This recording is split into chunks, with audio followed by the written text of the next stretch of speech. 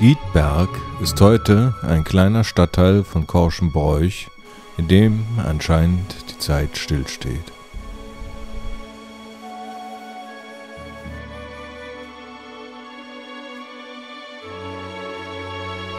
Im 11. Jahrhundert erstmals erwähnt, war Liedberg der Sitz des kurkölnischen Amtmannes.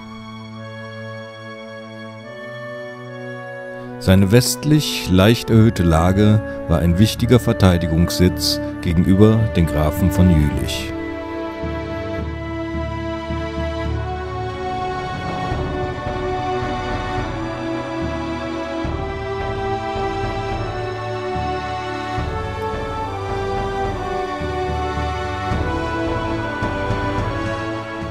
Das Schloss wurde auf Grundmauern aus dem 11. Jahrhundert als Höhenburg angelegt.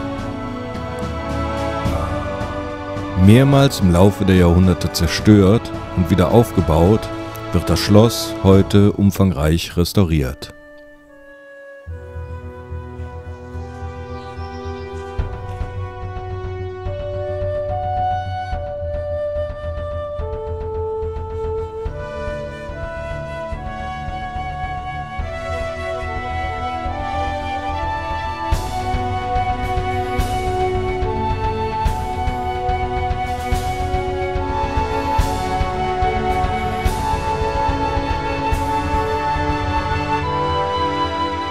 Ganz in der Nähe findet man das Haus Fürth, die einzig erhaltene Wasserburg in Fachwerkbauweise des Rheinlandes.